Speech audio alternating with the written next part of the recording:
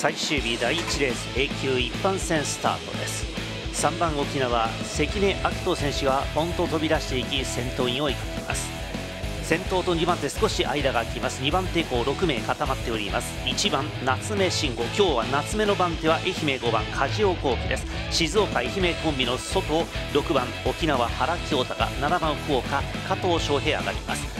6番手にいた4番宮崎松本勝志上がって7番手現在1番後ろ2番の佐川平川慎太郎です。7車立てのうち九州勢5人登場で今日は2手に分かれていきそうです。1周回目の4コーナー。4番の松本勝志が先頭員の後ろに車を収めました。番手3番手沖縄勢で原清隆関根明人宮崎沖縄南九州トリオで4番6番3番です。4番手5番手が九州2つ目2番佐賀平川慎太郎に7番福岡加藤翔平で2番7番。後ろ詰め67番手即席コンビとなって1番静岡夏目慎吾に5番愛媛梶尾幸喜です。早くも残り2周半です。初日は先行している4番の松本三者の厚みをどう生かすか。シリーズ初の番手戦は6番の原。3番の関根が3番手固め。4コーナー6番手連日先行して昨日2着粘った1番の夏目。5番の梶を連れて一旦残り2周で前に出ます。2番の平川7番加藤佐賀福岡勢がさらにその上から抑えます。4番の松本以下南九州で5番抵抗に下げちょっと4番手ライド1写真開けた松本。残り1周半の打賞です。2番の平川最終日2車でこのまま先行体制に入るか。ジャン3コーナー5番抵抗。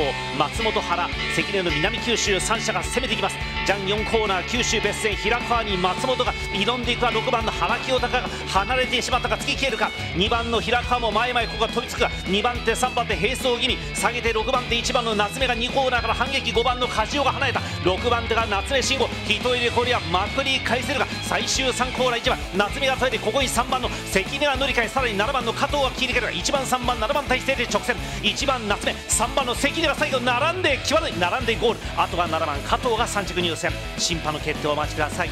2コーナー6番手が痛烈にまくった夏目慎吾の後ろを3番の関根が切り替え間から追い込んでどうなのか。あとは離れた3着7番加藤翔平選手。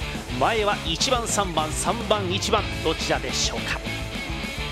この角度では際どい状況だと思われます。内が1番の夏目慎吾選手外3番関根明人選手。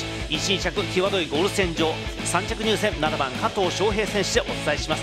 どうぞ1着につきましては決定放送までお待ちください。審議 VTR および判定写真を放映します。